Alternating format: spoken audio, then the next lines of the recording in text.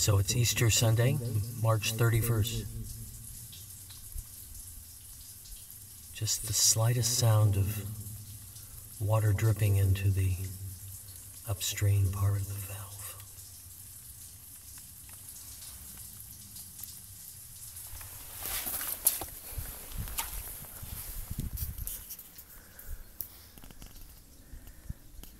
What a beautiful Easter Sunday.